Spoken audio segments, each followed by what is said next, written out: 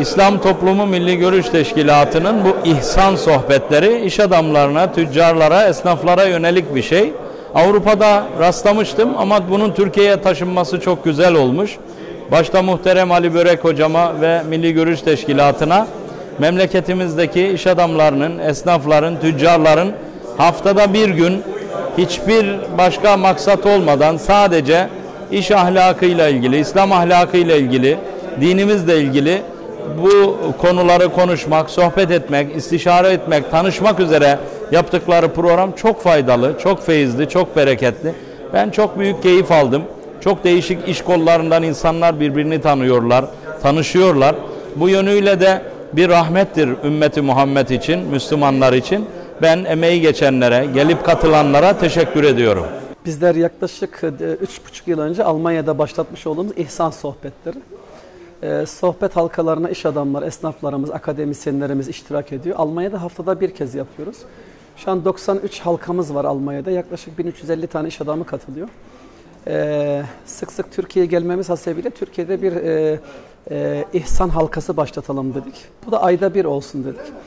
Ee, yak- geçen yıl başlatmış olduğumuz bu sohbeti e, aylık devam ettiriyoruz.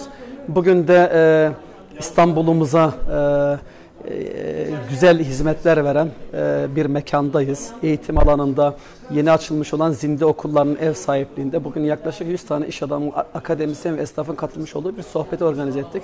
Ve ben teşekkür ediyorum Zinde sahiplerinin ortaklarına Sinan Bey'i de şöyle yanıma alayım.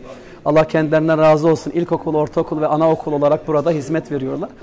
Tüm hazırlıklar devam ediyor. Ee, Allah e, kardeşlerimizin sayılarını artırsın. Hedefi, amacı, gayesi Allah olunca e, Rabbim bereketlendiriyor. Her daim söylüyoruz. Bizler de bu sohbetlerimizde yani ekonomik, e, parasal anlamda hiçbir talep olmadan, hiçbir e, konuşma olmadan, politik konuşmalardan uzak durarak sadece manevi motivasyonu gerçekleştirmek istiyoruz iş adamlarımızla. Ayda bir kez gelerek e, çok önemli ayetlerin tefsirlerini, Peygamberimiz Aleyhisselatü Vesselam'ın hayatını, e, tüccar sahabelerin hayat hikayeleriyle kendimizi e, kıyaslıyoruz, empatiler yapmaya çalışıyoruz. İş adamlarının e, ayda bir kere de olsa birbirleriyle kaynaşmasını e, arzuluyoruz, düşünüyoruz. Zamanla da Avrupa'daki iş adamlarıyla bu sohbetlere Türkiye'de katılan iş adamlarımızı farklı ortamlarda, programlarda yan yana getirmek, e, buluşturmak, görüştürmek, kaynaştırmak istiyoruz. Bu amaçla başlatılmış bir sohbet. E, amacına uygun bir şekilde inşallah hep devam edecek. İhsan sohbetleri İstanbul buluşmalarını düzenlemeye devam ediyoruz.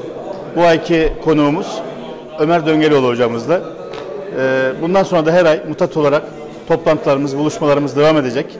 Manevi bir detoks etkisi yapan bu buluşmalarda tüm kardeşlerimizi bekliyoruz. Teşekkür ediyoruz.